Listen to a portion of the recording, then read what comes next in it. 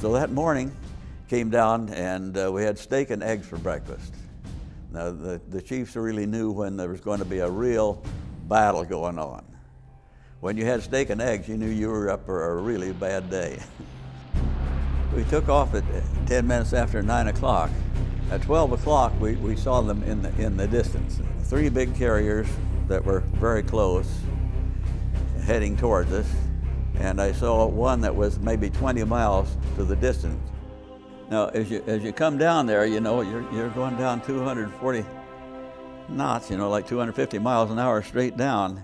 And the other thing, too, is you had to look at your, at your altimeter. If it read 4,000 feet, you were already at 3,000. It was always spinning around so fast that it was always 1,000 feet behind.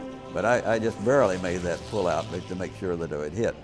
When I came uh, at a safe distance uh, away, I looked back and to see what was happening. It was like three haystacks on a fire.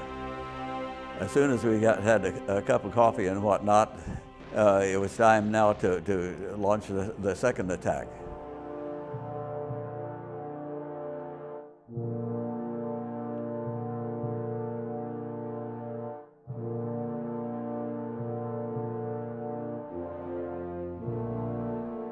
We knew that they had these big battleships out there that, they were really good with their gunnery and whatnot.